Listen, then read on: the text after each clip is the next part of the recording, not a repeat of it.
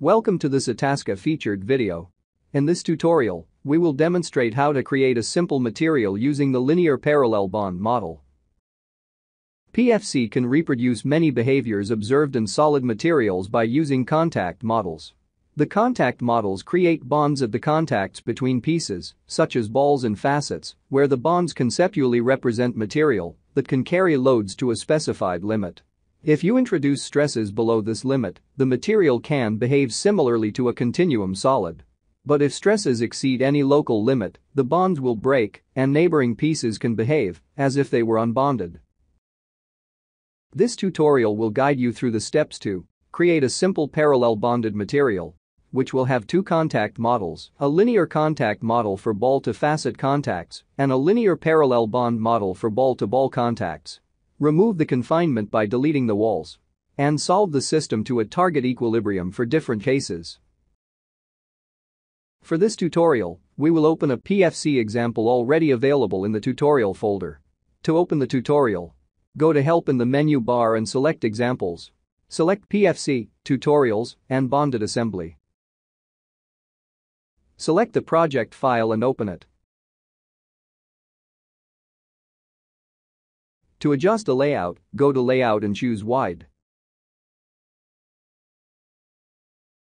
To zoom in and out, hold the Control key and scroll, or hold the Control key and press the plus or minus key. We want to start with setting the general model controls, so mark the first three lines. The first line clears the model, which is useful if you will run the file multiple times. The second line sets the calculation mode to be large strain. The last line is not required but sets a job title for this project. Right-click and choose Run Selection or use the shortcut Ctrl-Shift-E. For any PFC model, the first step is to create and define the extent of the domain. The domain extent is set to be a cube with side lengths of 20 units. By only specifying the location of the edges in the x direction, the y and z directions will use the same extent edges.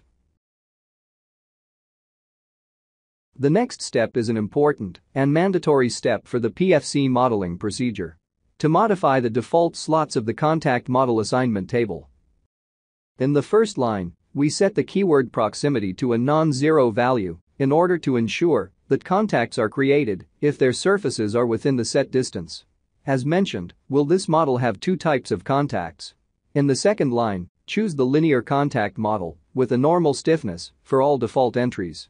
In the third line, we specify to use the linear parallel bond model for the ball-ball contacts to generate a bonded specimen. This leaves the linear contact model for the ball facet contacts. Note that only the linear part of the linear parallel bond model is activated, so the model will behave as the linear model. Following this command, we will generate balls. To be able to bond them, they need to be confined. This is done by generating a closed box, a material vessel.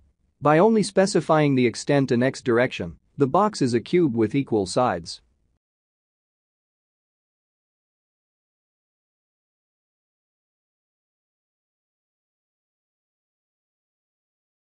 Create a collection of balls with overlaps and distribute them in the box. By adding the command model random with a fixed seed number before we generate the balls, the same initial configuration will be produced each time the model is run. The balls created will have a radius within the range of 0.5 and 0.6. In the plot named the system, you can see the collection of balls within the closed material vessel. Note the large overlaps that exists.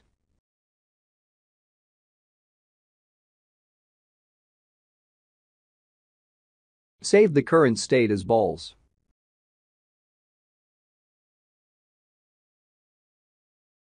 Continue with setting the attributes of the balls, where the attributes are the characteristics such as density and local damping. The ball density is required to be a non-zero value in PFC, and the local damping coefficient is set to efficiently remove kinetic energy from the system. The model cycle command will execute 2000 time steps. The keyword calm will reset the linear and angular velocities to zero every 10 cycles, which effectively will remove the kinetic energy from the system. This allows the balls to rearrange without significant overlapping and movement, which will result in dense packing relatively quickly.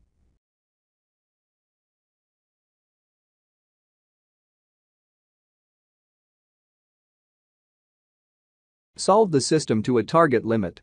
Here the average force ratio.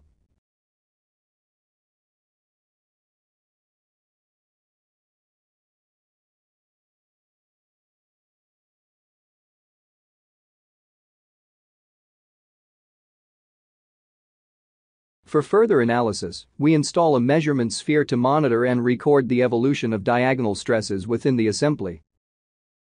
In the plot named the System 2, you can see the system at this stage. Balls, walls, and the measurement sphere is plotted.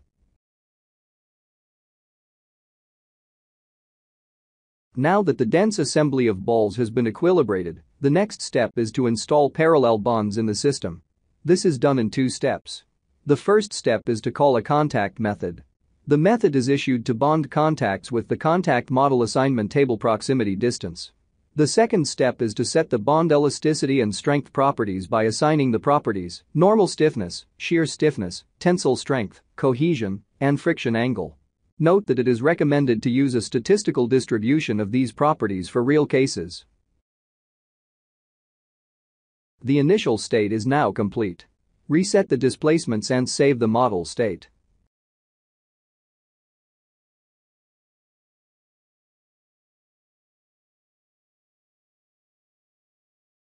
To this point, we have created a parallel bonded material and will start to alter the model by removing the confinement.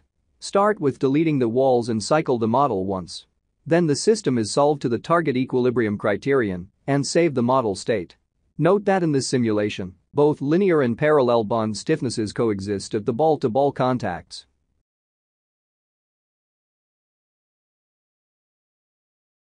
In the plot forces, you will see two final states. To the left are the forces in the linear spring, and to the right are the forces in the parallel bonds. In the plot stresses, you can see the history of the principal stresses within the assembly with the measurement sphere. In the plot force chains, you can see the final state after removing the confinement and solving with linear stiffness.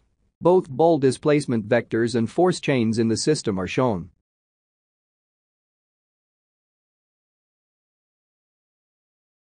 The previous simulation included both linear and parallel bond stiffness. We will now repeat the simulation, but setting the linear stiffness to zero. This should result in no forces present due to balls overlapping one another, and the model should be in equilibrium. Note that the contact forces calculated at the previous time step already are accumulated to the contacting balls, and it therefore will be a slight perturbation from equilibrium. Going back to the previous plots we can see the final state after removing the confinement and solving without linear stiffness. Repeat the simulation where the linear stiffness is set to zero, but remove the perturbation. To remove the perturbation, we must reset the linear contact forces that have been accumulated during the previous force displacement calculation cycle. By going back to the plot forces, we see the final state after removing the confinement, solving without linear stiffness, and resetting the accumulated contact forces. To the left are the forces in the linear spring, and to the right are the forces in the parallel bonds. We can now see that the forces in the linear spring and parallel bonds are zero. Thank you for watching this PFC tutorial. For more information about PFC and the linear parallel bond contact model, Outside of this tutorial, please see the description box for more information.